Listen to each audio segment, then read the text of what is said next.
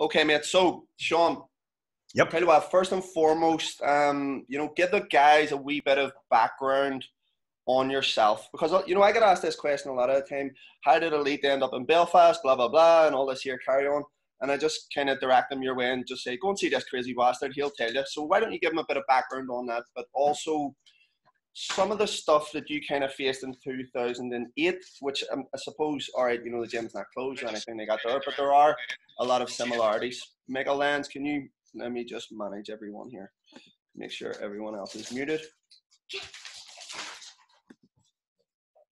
Yeah, that's us now, dude. Go ahead. Good. So the first question I liked uh, the most there, because you asked quite a few, that was like a double barrel question there. The first one you said, "How did the lead end up in Belfast?" Because you have balls like a fucking Bengali tiger. That is I how, do, dude. I do. that is that is how I lead in Belfast. But um, how did I start? Well, look, you know, I grew up uh, very from a very different kind of, I suppose, conditioning than most. My family were quite entrepreneurial. My, my dad actually was the guy who sold Honda, the first Honda on this island. mm-hmm. Um, and from the age I get hold of hose, no shit, I was in there every kind of school holiday, weekends, Easter, summer. Like I was in there working. Well, I was probably playing with the fucking hose, you know, when I was at the age of nine. Usual like- story. Usual story. Yeah. Yes. so I was like, uh, from the age of nine, like I was on the books in the fucking business, and I went through like car valeting. That's where I started in, and it was actually one of my most favorite areas of the business. Went from car valeting all the way through to finally at the age of seventeen, I ended up in car sales all by a complete accident right. genuinely because um there was a salesman that was fired and my dad was basically my dad was a mad bastard he was crazy to me right he actually fired me four times in my entire career right Was he worse than Phil Dog? Was he worse than Phil Dog? That's no Phil Dog's on a level of his own this, Phil, this is this is Sean's brother, by the way. Craziest motherfucker I've ever met in my life. didn't I tell you he was oh no he's on a level of unique that guy so uh, at the age of 17 I ended up um, in car sales and it was something that I didn't realize that I had I suppose an active for flair for and then my brothers were my first mentors Um, they were a lot older than me. I was the youngest in the family, you know, and they had achieved a lot of stuff by the time I came onto the scene. And they just basically taught me and gave me a financial education. I mean, at the age of 17, the first book I was given was Rich Dad Poor Dad. Amazing book, by the way. And it changed my fucking life. Like at the end of that summer, like I, I started car sales in May. At the end of the summer, September, when I was going back to university, I had applied for a mortgage and put down a deposit on my first house because the, the opportunity in the marketplace and the skills and the techniques and stuff that I was taught were incredible and allowed me to capitalize on a unique uh, or the perfect storm, if you want to call it. So uh, roll on, you know, went to university, continued selling cars all the way through university, came back and started selling houses and shit like that, and cars, moving up the property ladder, and it got to the point where I started to see things that would improve profitability get people to sell more stuff because look in cars you don't actually make money selling cars.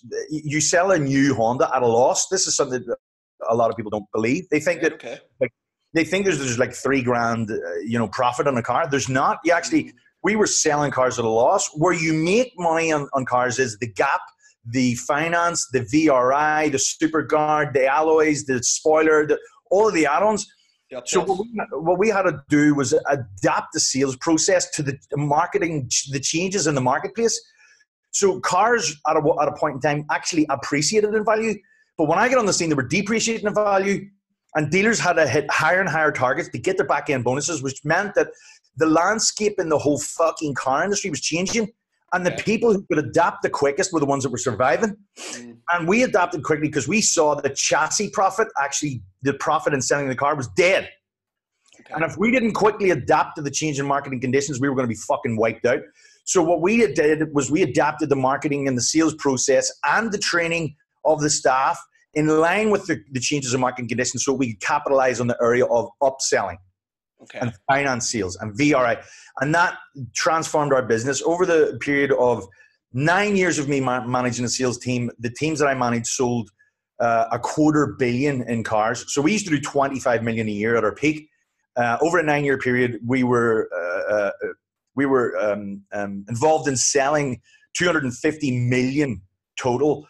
Um, and the biggest sale in my life, I sold the company along with my, my father and my two brothers for 4.5 million. It's the Kentucky Fried Chicken fucking place on the Boucher Road now. We yeah. sold it to Michael Herbert, um, which is crazy. It just shows you there's more money in chicken wings than there is in fucking Hondas, doesn't it? but yeah, we, we oh, sold it for 4.5 million to Michael Herbert in 2006. And with that money, we took our share 50%. 50% went to my dad. He retired. He was out for health reasons.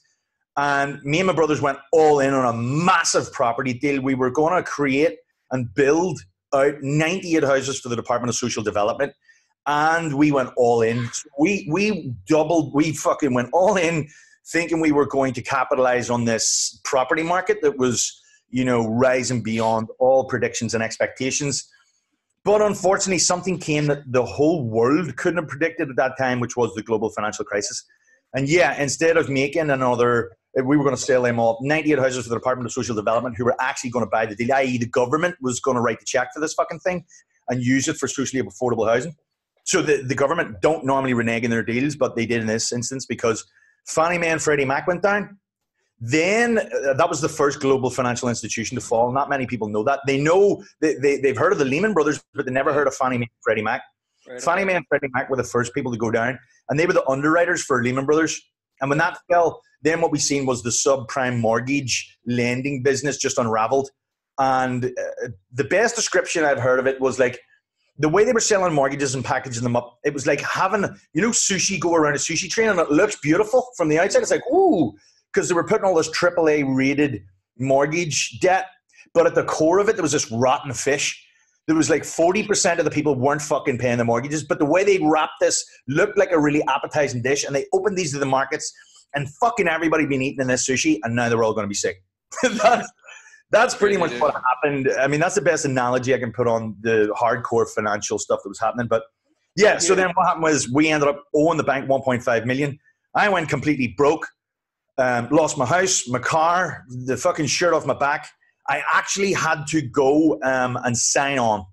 So uh, yeah, this is this is my second exposure to something that's globally changing. You know, so what what are the what was going through your head at the time, Sean? I mean, obviously, I don't know. did you have any kids or anything at the time? Um, yeah. So you, you did have kids. Um, I mean, obviously, I don't. I don't know about you, dude. Right? I mean, obviously, that was set in stone. Do you know what I mean? At that time, it was set in stone. You guys were going to lose 1.5 million, whatever. You were forced to go. It was basically taken out of your hands. Now, yep. compare that to, I suppose, what's happening today no one really knows no one really knows the, the the outcome that's going to come of this like let's face it no one no one knows what's going to happen next but let, let me ask you a question do you feel more in control of what is happening today than what you did then well, I'm actually taking exactly the same position as it did back then. I'm not crying over the shit that happened, you know, because okay. there, there are only two reactions to something like this and there are only three possible scenarios. So let's talk about that. So okay. reaction one is where you bitch and you moan. Ah, fuck! It's not fair. I mean, get over it. Grow the fuck up. Yeah, the world's not fair. Yeah. You know, I cannot control anything that's going on right now. Back then, I had absolutely no control over what was going on. So don't focus on the shit that's not in your control. Focus on the stuff that is in, in your control. Love that, ask, ask yourself the most empowering question. Now, what the fuck are you going to do? Because look, now this puts it back in your. It's like, well, what I can control is my reaction. I can't control economic factors, the external environment, even other people's opinions or what they think. What I can control is my action and the way that I react to this environment and this scenario now. Love it, love it, dude. So that's the only two things that you can actually concentrate on. My choice is to choose the shit in my control and control that to the best of my ability. Now, in terms of like what's going to happen, there's only three possible scenarios right now. So, scenario one this virus goes as quickly as it came, and in maybe one or two or three weeks, we go back to some form of normality, whatever that looks like, right? Mm-hmm. Yep. Two, this goes on for, you know, eight, 12 weeks, long into the summer, maybe Leo Varadkar says, and, you know, it'll be a different thing on the other side of this. Or three, you know, this thing could be fucking one or two years and it's catastrophic and the world on the other side of this is a completely different place than we've ever seen or know before. And really, in either way, again, can I control any of that? No, but I'm prepared for number three. Okay. I'm prepared for the worst and I'm hoping for the best. And I sincerely hope you guys would do the same. So I am in I am ready to fucking weather a storm of 18 months. I'm ready for that shit. Love it. If it's over any sooner, fucking fantastic. But I am I am ready for that shit.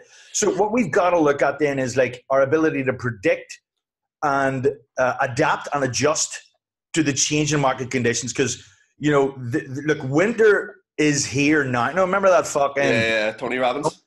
Winter, winter's coming. No, winter's fucking here. Yep. Winter is here. It came a lot faster than any of us wanted. We didn't have time to prepare. But what we need to do is now react and try and perceive and predict the market conditions and the forces that are going to happen, and know that if we're to try and capitalize or even survive, we're going to have to pivot, leverage all the fucking resources we have in our, in our mental capacity or emotional intelligence or social intelligence and get, move into that bit where we can actually access all the resources and our thinking capacity to solve the problems that exist in this new marketplace that's coming ahead. Yeah. Versus yeah. people that are like you discussed this in your thing in your emails. You talk about there's only a couple of reactions. There's fight, flight, or freeze. Yep. Yep.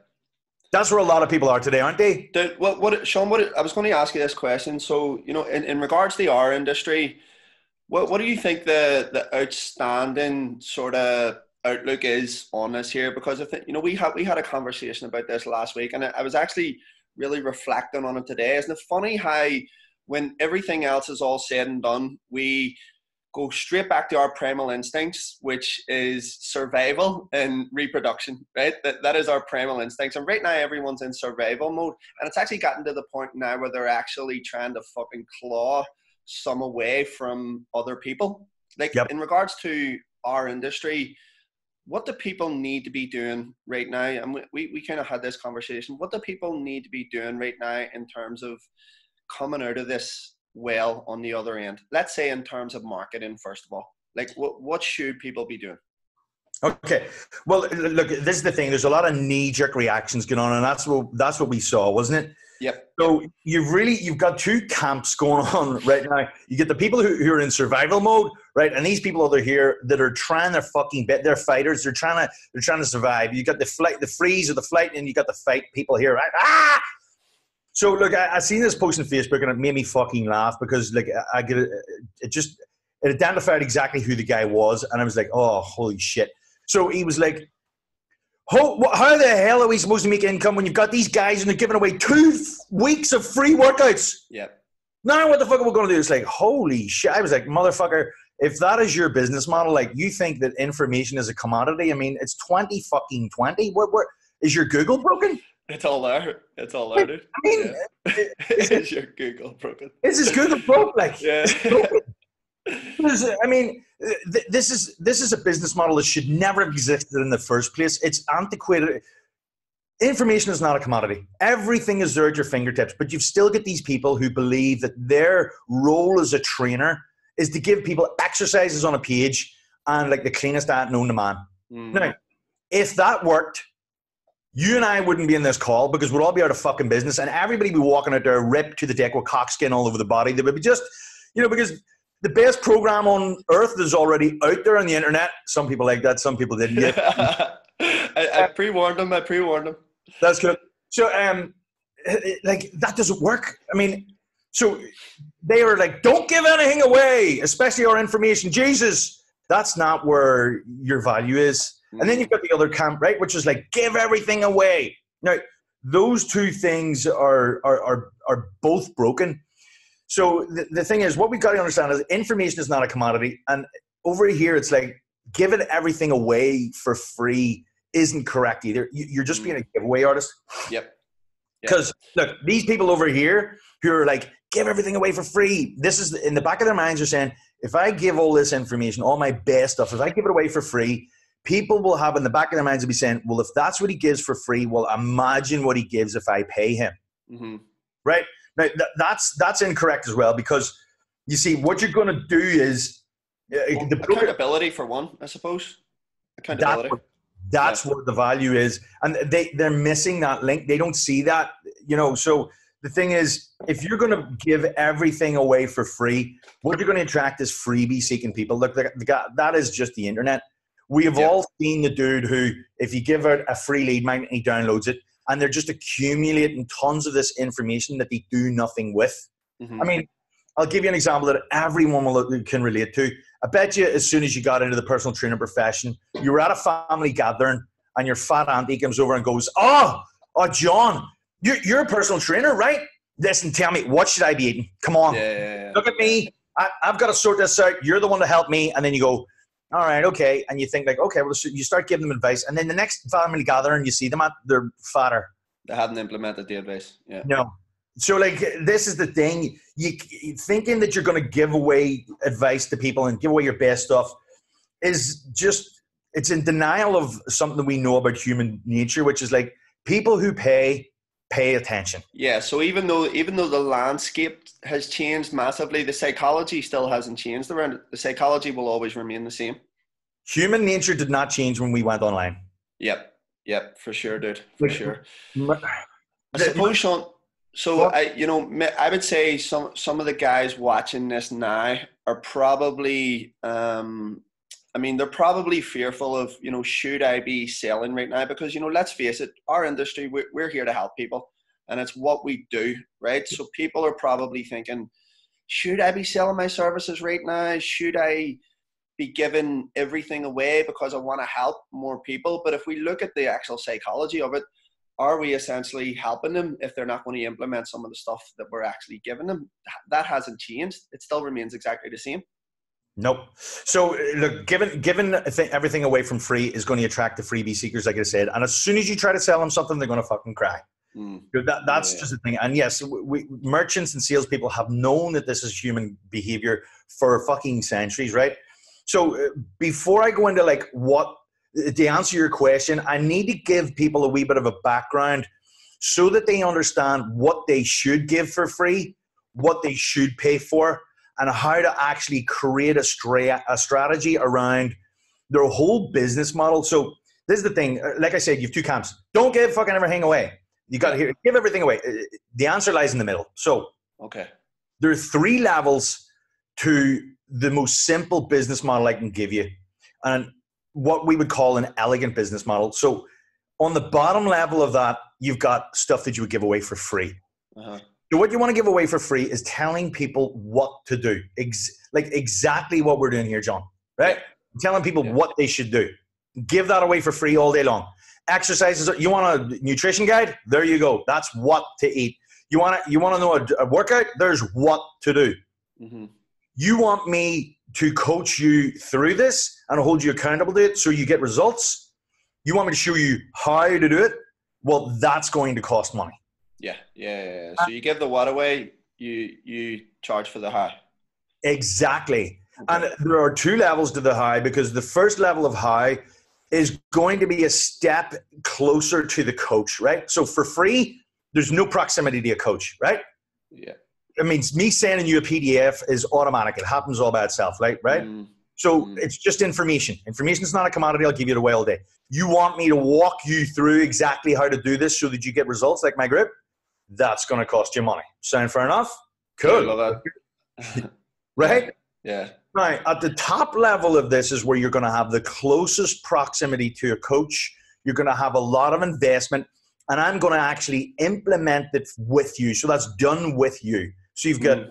here's what to do free, here's how. You want the templates, the strategies, the execution plans. You want um, guidance, coaching, accountability, support, motivation, direction. Super done with you. You want me to walk into your business, sit down, and hold your hand through every step of the way, but but you're going to pay handsomely for that. Mm. But it will be in line. It'll be a multiple of the result that you can get on the other end. Does that make sense? So now that we know the elegant business model, the next thing, the next question people usually have is like, well, okay, well, I'm gonna I'm gonna give them this away for free. This what? Tell me exactly what kind of stuff goes there so the, the best thing to think about in the what category when you're giving people out what is look, you've went into Tesco's, haven't you? And there's somebody with a cheese, a cheese thing set out and they're giving away wee samples of cheese. So what you've got is you've got this wee cocktail stick and you've got a wee tiny block of cheese on there. It's like, would you like to try some cheese? Yeah, fuck yeah, I'll try some cheese. Right? Now that is a sample. They're not giving away the whole cheese, they're giving away a wee bit of it. Mm-hmm. So your what and the, the, the content that you're giving away for free needs to fall in line with that principle. If you give them too much, and this is why the people who give it all away for free is like, no, you if you give them the whole block of cheese, they wouldn't be hungry or want any more of the thing. Yeah. So, you, uh, and this is why you're attracting freebie seekers. If you're if you're giving everything away for free, then as soon as you try and sell them something, they're going to cry. It's like, no, fuck yeah, I've got it all for free anyways. Nah. So like, you've got to understand that it's the samples, it's the bite-sized stuff. You're just whetting their appetite with shit. Yeah, yeah, yeah. In in, in terms of Sean, so the I suppose where, where people are coming from now. And believe it or not, I've actually found myself a wee bit hesitant on this here in the, in the last few days yep. because, you know, like I say, we, we all want to help people. Yep. Suppose people are, are kind of thinking now, right, if I give that, uh, if I give that sample and here's how you do it, and if you want to know how to do it, I can walk you through that. I think people are maybe just stuck on the, should I be calling people the action to actually take that next step? You know, should I be taking people from, well, here's some stuff that I want to help you out with. Now, how do I do a call to action to say, listen, if you're interested, you can still, because there are still people working. There, there are still people working. That's the thing. That's what yeah, we all have to remember. You're 100% right, mate. What, what we should do is not be pushy or trying to manipulate or coerce people into selling. Like always. If people reach out for help, then just give them A- Dude, I, like somebody rang me yesterday. Actually, they, they fucking DM'd me on one of my stories on Instagram. On mm-hmm. what are we on? We're on Thursday. It was Tuesday. Dude, fucking tell me about Ascension. I want in. So set up a call with him. I talked to him yesterday. He's like, I'm in. Should I tell him no? No. No. There's a fucking pandemic. No, you can't fucking no, no. Yeah, yeah, yeah. Don't be a fucking sales prevention officer. What the fuck? It's fucking ridiculous. Get that guy reached out to me, asked me for my help and I am going to fulfill my obligation. So here's what I'll ask you, This, and this this is for everybody. Do you believe in your product 100%? So the people that are on the screen here, do you believe that your knowledge, your tools, your skills, and your ability have the potential to help someone in a positive way using fitness as the tool? Regardless, yes? of, regardless of regardless of the the circumstances right now. Put it on. Just put that nice a second. I'm asking you a man to man, man to woman question, right?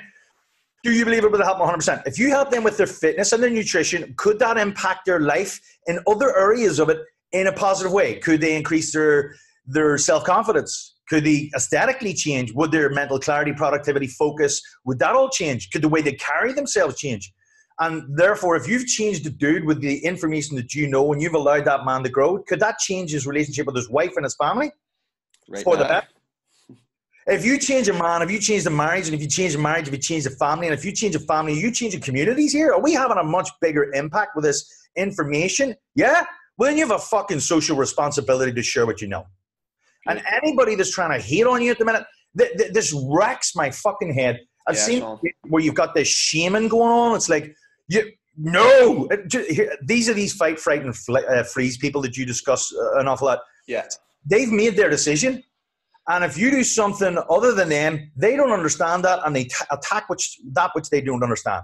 Yeah, yeah, completely did. Mind your own fucking business. So, and, and this is why if you use the elegant business model that I'm discussing and you give away information for free, what's going to happen when you do this correctly is you see, people are going to want to take a step closer to you. Mm. And you allow them, you capture their permission. So you remember I used to teach strategic seduction at Garrett J. White yeah. taught me.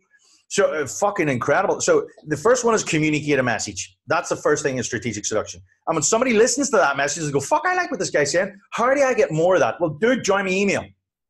And when that guy comes into my email, he's saying openly, I want to hear more from you. I want to step that one bit closer to you. Give me more of that shit you were giving me over here, which is just like the Tesco's thing. Hey, see that fucking sample? Give me some more. I love that shit. That wee slice yeah. of shit you give me, I fucking like it. Give me, where can I get more of that? Right over there. Cool. I've asked, you've fulfilled on your obligation.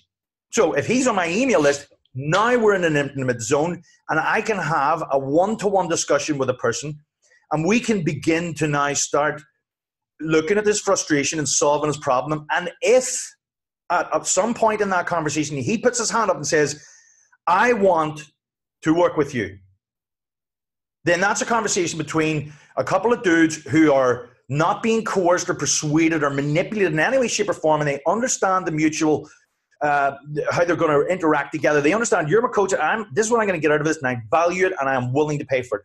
What the fuck is wrong with that? No, nothing whatsoever.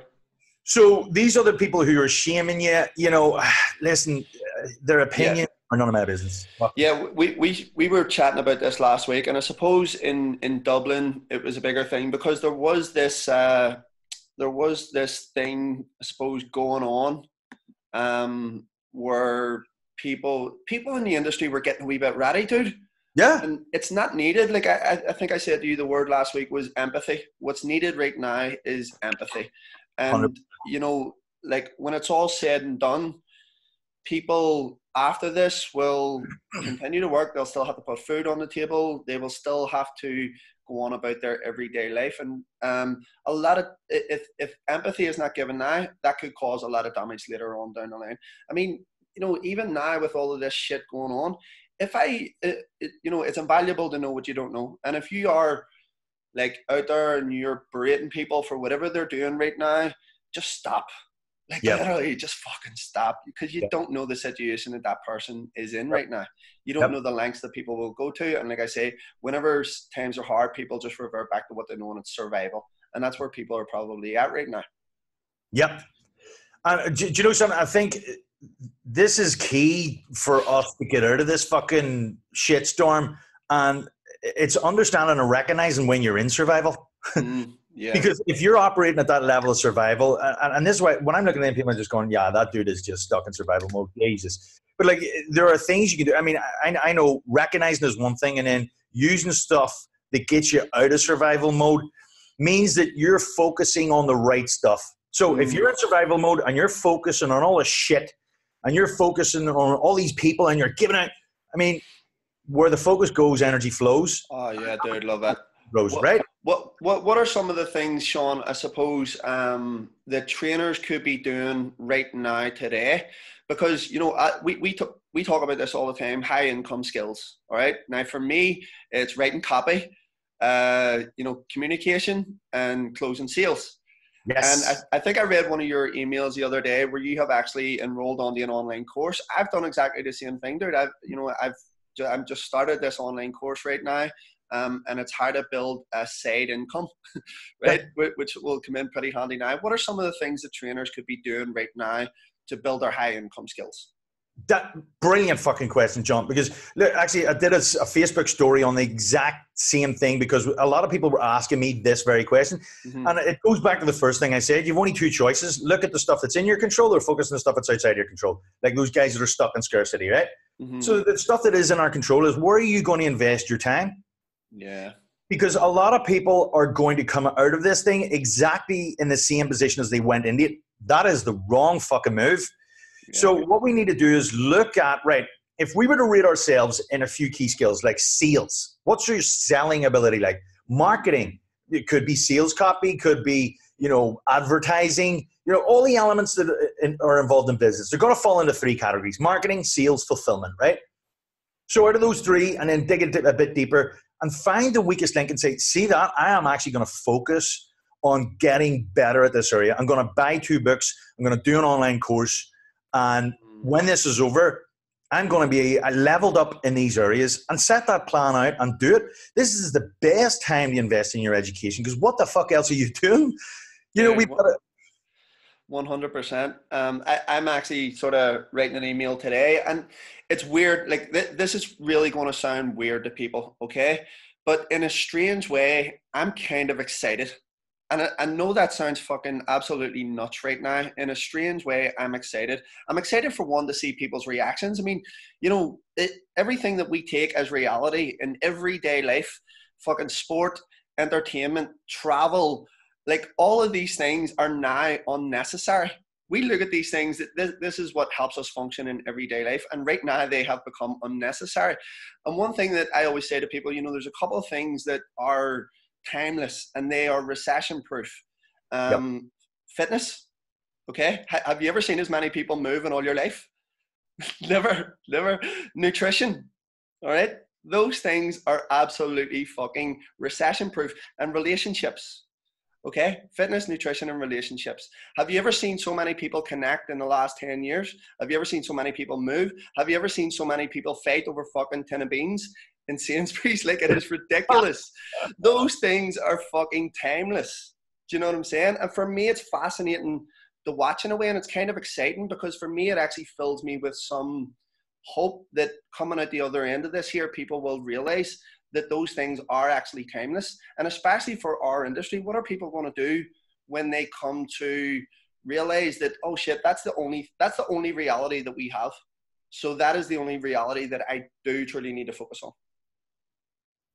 Love it, John. Never true word spoke. You know, I've, I've seen a lot of people as well think like, they would just love to click their fingers and everything go back to normal. And mm. like you're just saying it, realize that the landscape of economy, business, and the way that we fulfill the clients of the future is going to be a completely different thing altogether. And we need to learn how to perceive, predict, adapt, and adjust in order to be the kind of business that's going to sustain long into the future. Because mm, like, see those giveaway people or the dudes who are afraid to give away, those people on either side, they're fucking dead. Mm. You know, in fact, the give the people who are giving everything away, that acts as reverse credibility because the relationship is so open. Think about this for a second. You, you show me somebody who is like always on, available on the phone. You know, you can grab any moment of any day. You know, and I'll show you somebody who's exhausted, undervalued, and underpaid. Get it, get you. Definitely. And this is again going back to the elegant business model. If you understand the barriers that you need to create on your time and your energy and your focus, and like everybody wants to be someone whose knowledge and their time is valued, right? And the key is like understanding that these people who have always got the time for you, no barriers to them, they will never be respected and their time's never going to be valued versus people like Dan Kennedy. Hmm. Yeah. The guy can only be connected or contacted by fax and only two days a week. He has no mobile phone, no email, nothing. Mm. And I'll show you a god of his industry who is in demand for seminars and is probably the highest paid living marketer on the world today. Yeah. So I think like people really need to understand that you can't wing fitness anymore. The predictions that we're facing at the minute is that 60% of fitness businesses who've been operating in either one of those two camps that I've just described will no longer be, they're not going to be coming back the other end of this. Yeah. It's time to turn pro, people. Yeah, yeah. It, it really is time to turn pro. I'm so glad you brought up uh, Dan Kennedy or Sean because one thing I always remember him saying was, and especially I think is really fucking really valuable in today's climate because uh, you know trainers won't make a call to action today through fear of looking greedy, right? The, yeah. oh, I'm, I'm going I'm going to look greedy if I if I ask someone for money, right? Now, one thing that Dan Kennedy always said is greed is asking for something for nothing. Okay, if you want something for nothing, then that's greedy. But if you're providing a valuable service to someone right now, then you have every right to ask for a call to action. Good. And do you know what else he used to say? Peers will sneer. Uh, okay. Yeah, that's what we're saying. Minute. And, that's a crack. I love that one. And, and, and, so, what what do we really should we concentrate on? This is the question I kind of well, maybe I didn't avoid it. I haven't said it, but I haven't really spelled it out. So, what should trainers focus on in this climate? The mm-hmm. relationship with your clients. Yeah, if you've got clients on your books at the minute, look at ways that you can adapt and adjust to continue to deliver the value. And remember, the value is not on exercises in a page and it's not on giving them a fucking nutrition guide. There's enough of that shit. Mm-hmm. But having coaching conversations, realize that the difference between a trainer and a coach is that the coach is the person that realizes that it is accountability and the person who can get their behaviors in line with what they say they want is the coach who gets results and creates a long term loyal client for life. We're swimming in information. We've never had more of it, but we are lacking in implementation.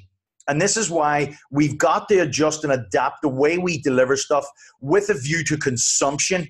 So, like for the last two weeks, because we're probably two weeks ahead of you, we are paying members who were paying for access to the gym, right? Mm-hmm. And we pivoted immediately and delivered all of the coaching live from the gym and we walked them through the workouts. Now, the other thing that we've realized is consumption is lower than that. So we're going to do we're going to do uh, stuff like this so they can they can actually join in, right, and get more mm-hmm. interaction because this is super important. Relationship. And then, yes, it's the relationship, and then the last part is the coaching conversation. So we're opening up blocks in the day where they can contact Jay and actually have a conversation about the deeper things and the deeper reasons why people don't get results. It's got nothing to do with them being confused about nutrition. I fuck, people know that apple pie is not as good as eating an apple. But why do they keep going on for apple pie? It's the behavioral shit people need help with. Yeah. And we've got to understand that if we're going to survive in the marketplace of the future, we've got to adjust and adapt the things that we deliver of true value in a medium that suits it. And, and we've got to focus on getting results, accountability, coaching conversations, consumption, and the, maintaining that relationship. And mm. you know, the last thing I'll say in this is like if you're not concentrating on your relationship of your clients now, someone else will. And when this thing comes the, the other end, who do you think they're going to go to? Oh yeah, yeah, big time, dude, big time. Sean, let, us uh, let, let's open up um, let's open up a, que- a couple of questions. Do any of the guys are on here? So Dave, Sean, Martin, uh, Andrew, Hugh Downey, Susan, guys, if you want to ask a question now, um, before I finish with one final question, for Sean, which is basically, you know, what is what is the biggest lesson that he that he's taken now from obviously, you know, a huge fall in the 2008 market crash versus what's actually happening in you know today's marketplace okay? So if you want to hit us up with a question in the chat then i will ask it to sean and he can go ahead and relay that. Ginley, i'm going to mute you dude.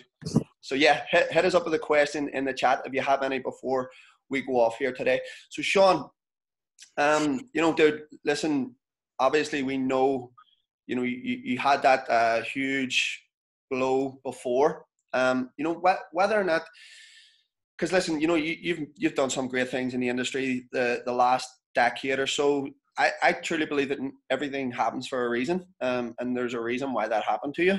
And you know, obviously, everything that's happening today happens for a reason as well.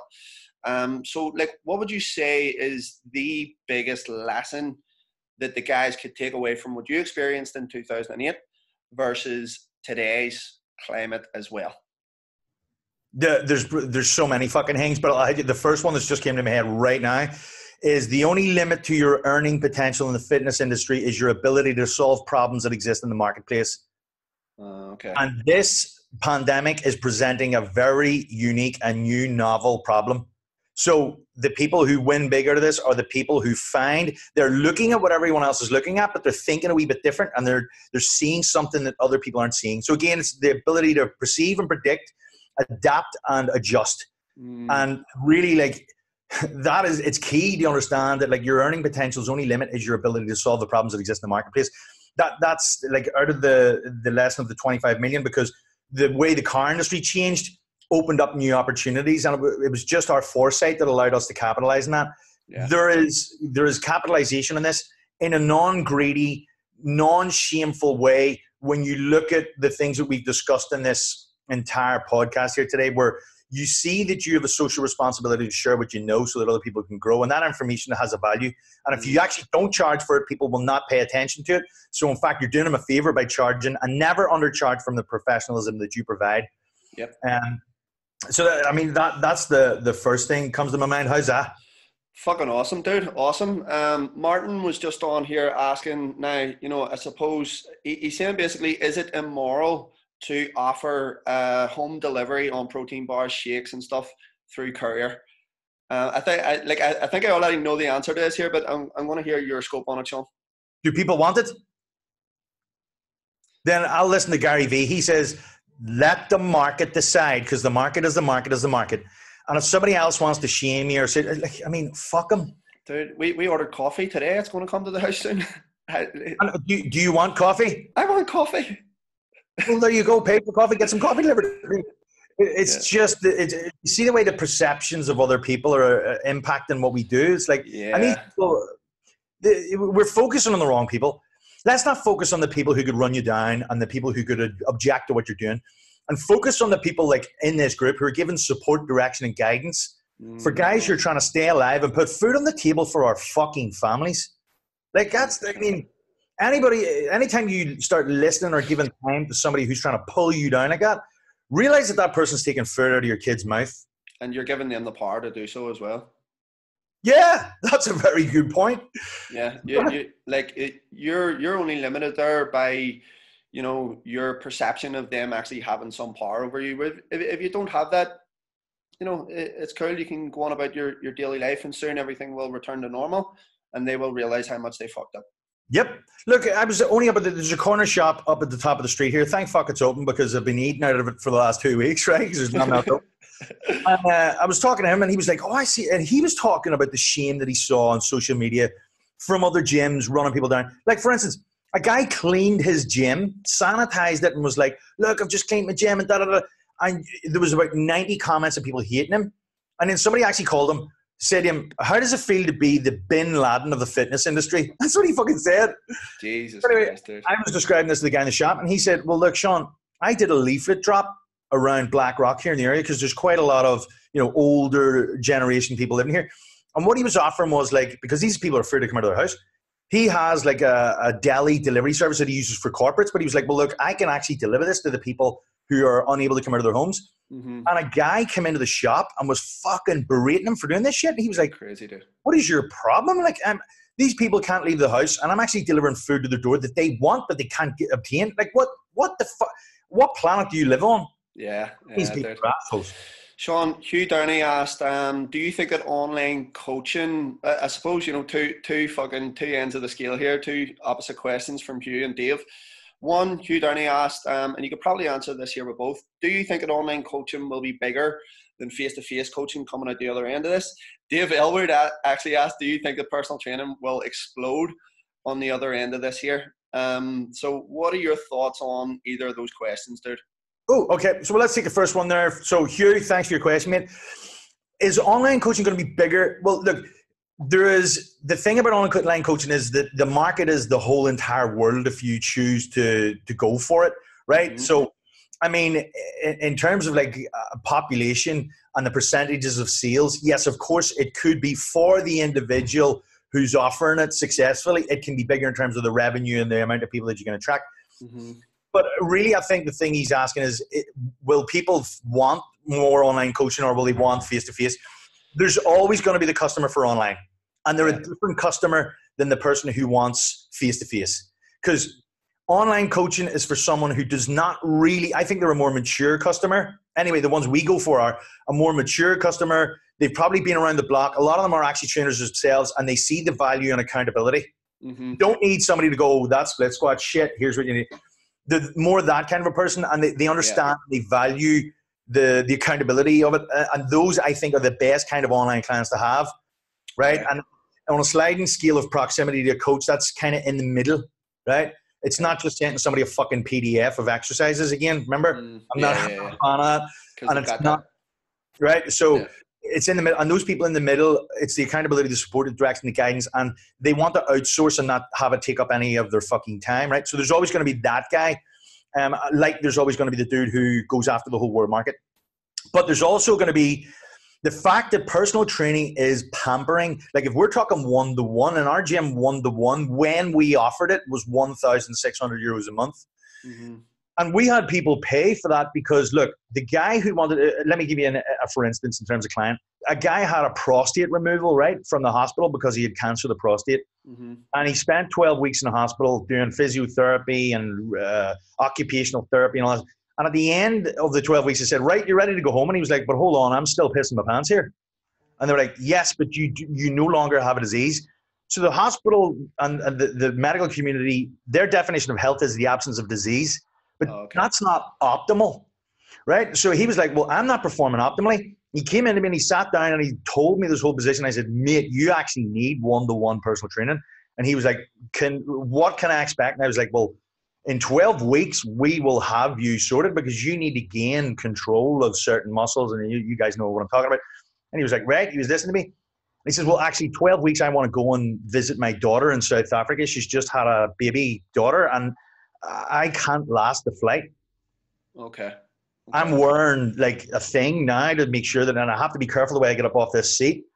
Otherwise, it's going to be fucking very embarrassing for me. There's Mm. always going to be that. Like that's that guy has a real need, right? And then there's the person who just wants to spend money and have that one-to-one experience, right? So there's always going to be the person who wants personal training. Now, if you do semi-private personal training, one to four, that is in my definition. There's always going to be the person who values that experience and wants the coach's eye on them, and loves the support and the community and the intra accountability that the group provides. Like the guy who used to do sport doesn't do it no longer, and always worked well when he had other people to kind of pace himself against and shit. You know that wee bit of Yeah, help. yeah, yeah. there's always going to be the person for that. So, online coaching does offer a larger opportunity if you're going after the world market, Mm. but face to face coaching will never die. Never. I, I, I think Sean, um, you know, guys are, uh, you know, I suppose for the people on this call, like you may as well benefit from this. You know, obviously we have had the transition and move online, but I was kind of thinking about this here today as well. Um, why not just like right now look at somewhere that hasn't been overly affected by what's going on, and then direct your marketing towards that area? Because you know, there's going to be people within that area that are still in work. Because right now, as you say, Sean, the world is your market. Do you know what I'm saying? Like you could direct an ad at fucking uh, somewhere in Zimbabwe where hasn't been affected massively by what's going on, and you could convert people to paying customers. You're exactly right. I mean, look, we've got a, a guy on our in our coaching group at the minute uh, called Tom Dalton, and he runs like corporate coaching. Okay. And he's added three corporate clients to his books and increased his uh, like 20, 30K. And, and th- here's why because there are companies that are, you know, businesses going as normal, yet they're working remotely. Mm, And if they're investing in their people to ensure that they can continue, because tech shit's growing, yeah. tech, tech's still on the up. Yeah. And those people, if they're in a company that values, you know, their fucking listening to a podcast or some shit. Is it? they, if they value productivity, clarity, mental focus, and all that shit, exercise and nutrition is a key part of the daily structure. And those companies still want to provide that. Mm, And he's offering it. He's like, dude. And now the first email he was going to write, I was like, don't send that email, Tom. Send this fucking email. And I was like, dude, it's not an opt out. Uh, sorry, it's not an opt in. Oh, I'm going to do this. Would you like? And it's like, dudes, this is how we're going to continue to support you through this fucking shit. We haven't given, you haven't given up on your people. We haven't given up on you. This is how what we're going to do. Now he's bringing in some sports psychologists to talk about, you know, that end of things. He's bringing in yoga. He's, he's doing, he's uh, pivoting and bringing some other really high perceived value items to the table with these new corporates. But uh, for all intents and purposes, they're getting exactly the same benefit in a changed medium that he was providing before. Yeah. So he's growing his business. Another guy on our on, on our group, uh, Tristan Hand, has been delivering hybrid personal training. That's what he does. He's five hundred quid a month. Dude, that's, uh, that's what I was going to say next. Like, why, why not use this as an opportunity to, to create a new product on the end of it? Hundred percent. Yep, yep. I mean, that, that that's essentially what we've been doing. Um, we, we were kind of toying with the idea for quite a while. You know, why, why don't we, I suppose, you know, somewhere smack bang in the middle of what Dave uh, Hugh was actually saying, why not take the best of both worlds? Because people make it a feel for online right now, but they're always going to want those relationships. You know, fitness and relationships are timeless. They're always going to want that. So why not just have the best of both worlds coming out? Why not service the marketplace on both ends? If you're forced now to build the structures and the systems in place that are going to do that, then why not just do it now? As Sean was saying earlier, you know, do stuff that's going to have you come out of the other end of this here in a better position and service both of those people. I, I think you're 100% right there. And like that's kind of getting into what Dave Elwood's saying. Like if you listen to what we've talked about in this call here, and we've talked about like actually strategizing, which is what most people do not fucking do, right? They just wing it and they or they copy the trainer down the road. And then they end up going fucking all different directions. The first thing you need to sit down and map out is like what does Rome look like? You know the idea all roads lead to Rome? Mm, That's your high ticket fucking thing. On your elegant business model, that's where you want most people to end up. They you want them to ascend to that level. That's why our whole mastermind group's called Ascension. Then it's like, well, what how can I splice that down to the there's the done with you, the how, the strategies, the templates, the guides, the execution plans. What do they look like in the ideal business model? Because we've all got a chance now to wipe the slate clean and design the kind of business we want to continue in future. Yeah, And then you have the what. And like if you actually map that out and then you know exactly where your free content's gonna be, you could write you can fucking do your whole schedule. You know what your products, your first products, the first uh, onto your ascension model, the first level. Do you know what that is? You could start fucking building that and you could start selling it. Yeah, And what this is, like, if you just take the time to listen back to the call, strategize, actually work out how it's called setting out your stall. Like every morning, we used to get up in the fucking business in the car sales business, and we used to take all the cars from inside the gates and put them out onto the main road front so that people see them as they're driving by. That's called setting out Yeah. your stall to do business. And so, yeah, so good, dude. So good. Um, So- uh, such a good point, Sean. Yeah, such a good point. I mean, uh, you know, if if things were like, what were the tiny things that maybe weren't weren't working as well before this shit happened, right? Because you, you know, it's either win or learn right now. It's either win or learn. There is no losing in this situation. Like, what were the tiny things that were going wrong before this thing happened? And right now is an opportunity to fix those things definitely. like if you were to go and open up a, a another uh, you know a, a car sales let right now? Like how much lessons would you have learned from what happened previously to what happened am, am- am i just like putting ideas in your head now dude? Like if you were to go and open up another car sales let like how much lessons would you have learned through the years to be able to go and do that all over again? I always remember you sean asking me listen dude you know if your business went tits up tomorrow and everything just went completely down the tubes how long do you think it would take you to rebuild that back up? You remember asking me this, don't you? Yep. How long would it take you to rebuild that back up? And for me personally, I don't think it would take me a very long time. And it's purely because, you know, everyone on here obviously is invested in, you know, their, their time, energy and money into educate themselves as well. But I always remember Jim Collins saying that it's not the actual success of the business that matters. It's knowing how you came to be successful is what matters because then it's repeatable. Hmm then it's repeatable because right now you know if every if the fitness industry goes tits up what's going to happen at the other end of it is that some people will be left you know to their own devices and not know how to get back up there again whereas some people who have invested in their time energy and money will know how to start from point a and go to point b. You know can you imagine like someone has had it funded for them from day one? Here i'm going to pay all this here for you you're at point a i'm going to buy you a gym i'm going to kit it out you just go and do it now imagine that person is left to their own devices right now, which they will be. What are they going to do to get them back to point B again? Fuck. Well, it's kind of like I can see in the background there, John. You've got a chessboard, right? I have no fucking clue how to play it. It's an ornament. You know what I mean? well, it's like what we've had, I- suppose, in the fitness industry at the minute is a lot of people just moving pieces around the board with absolutely no fucking idea what they're doing. So, Mm. like, if you've no idea how to play chess, be like me and you playing chess together, right? But I've got a strategy. I know exactly how the pieces move, and not only that, I have some actual fucking proven strategies that I can follow a formula. yeah. That- That's the difference in having a system, which is what we have. Look, I've been through this. In my fucking second crisis, let's call it, right? Yeah. And the, the beauty, and I suppose if, if I was to take back, like, what's the one lesson I learned from losing everything? Is like, if you have a system that gives you predictable, repeatable, and profitable results, a marketing and a sales system, you can apply it to any fucking industry. so, so much the- value dude. So much fucking value. So really, like, will personal training explode once this is over? I mean, I don't know how long it's going to take, uh, but 100%, the need is not going to go away. Hel- Like you said, health and fitness, and shit, that shit's not going to go away. It's timeless and it's recession proof. People will still move. So, like, how long is it going to take you to learn chess?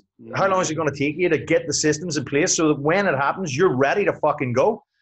We, we Most ha- people are going to be ha- like, go Sorry, on. Sean. We have a question from Susan here. We'll we'll Okay. we'll, un- we'll unmute her and let her ask a question.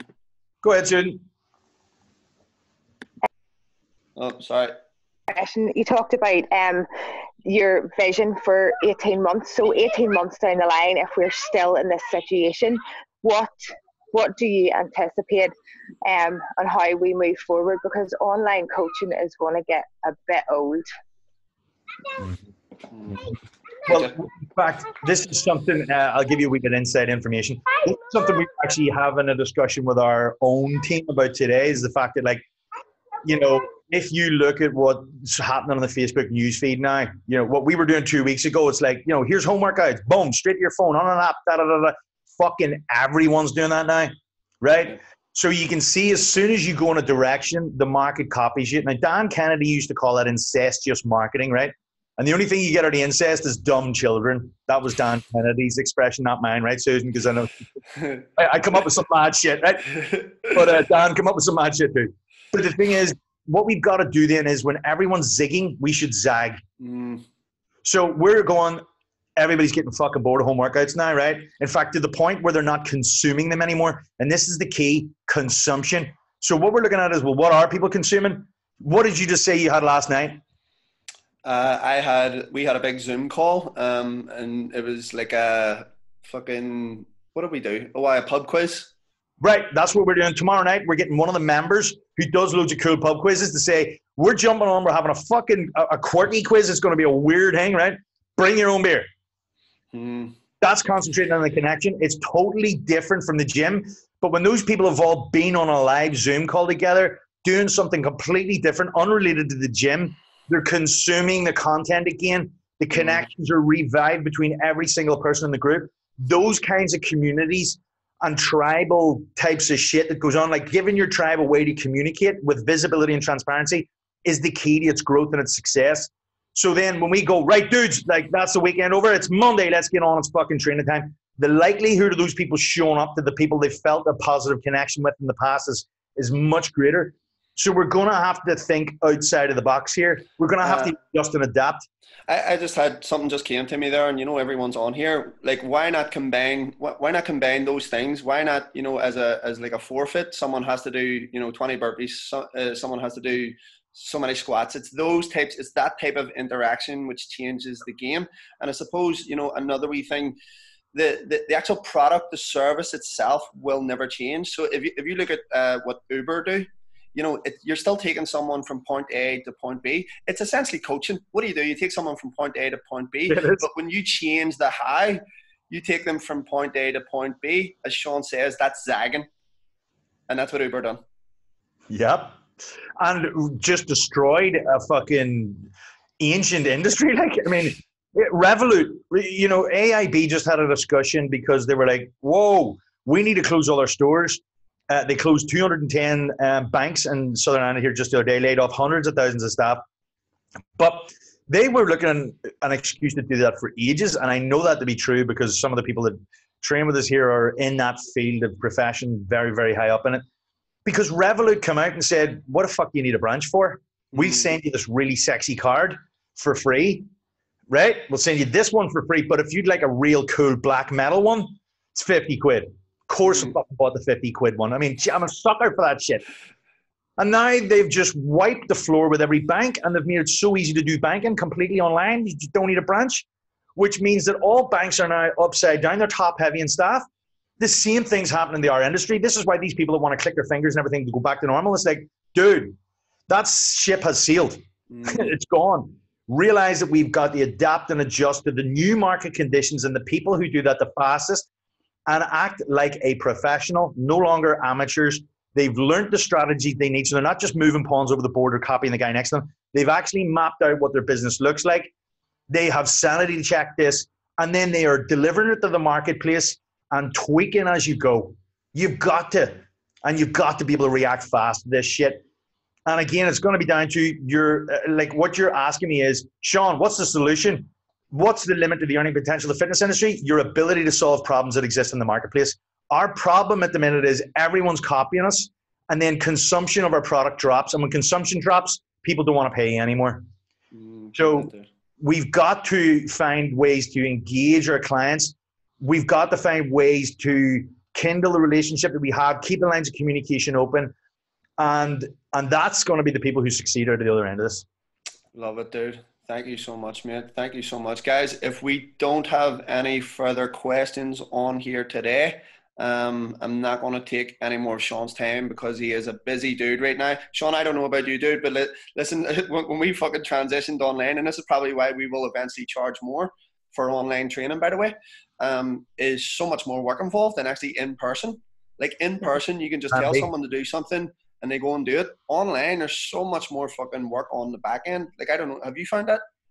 Well, the way we service our online thing, we've done it very smartly. So it takes a five-hour investment per week. That's it. Okay. Um, for the for the true online clients, and it's exactly the same price as the gym. So, uh, like to come and train with us, the lowest is 200 euros a month. Mhm. Top end is 300 euros a month. It's the same if you're an online dude. Um, Going forward, transitioning with the clients, we've still got 70% of our members sticking with us. So we had a 30% cancellation rate. And again, those were the kind of customers who maybe were a bit price sensitive, maybe stretching a wee bit, you know. But we were quite smart with the way that we deliver our online coaching so that it didn't, because I've seen a lot of people make mistakes. And what they realize is look, again, if you don't have a strategy for delivery, you're just moving pieces around the board and then you end up in a shitty situation. You're in checkmate. You- And what, what have you what have you bargained? Your time. So again, this comes back to the strategy and the structures that you need to put in place so that you're not having to live a life around your business, but your business is built around your life. That's the key. Love it, dude. Sean, thank you so much for coming on today, dude. It's always a pleasure. Pleasure, man. I fucking love this. I had a laugh. Did, it- did everybody get good value of this? Massively, Sean. Thank you. Would you have paid for this? Don't worry, I'm not gonna No, do it. no, your bounces, your advances a bit close to the bone. Now I'm only joking. Yeah, right. Great job. Well, I'm only messing with your molecules, peeps. Look, thanks, for, thanks for your questions, and thank you, John, for having us on. No Pleasure. worries, Sean. Always a pleasure, dude. Thank you so much, mate. Take it smooth and easy. Stay safe, stay sane, and stay at home. Stay at home. Adios. Wash your fucking hands.